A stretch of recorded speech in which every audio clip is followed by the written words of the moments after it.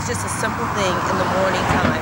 Um, you know, if they're not having a good day, and talking to them and relaxing. And so if there's no one here, then I sit and I wait for them. And they know that I'm going to wait for them until they get here. And then I get out of my car and then I start talking to them. And I cross across the street. I've been with the crossings for, yeah, this year makes 28 years. But, you know, I've been here for a long time. So my little child went high school, then they bring back their babies starting kindergarten. That's scary. And they're like 11 or 12. And then they go to middle school, and then they're like high school. And I've actually seen their babies.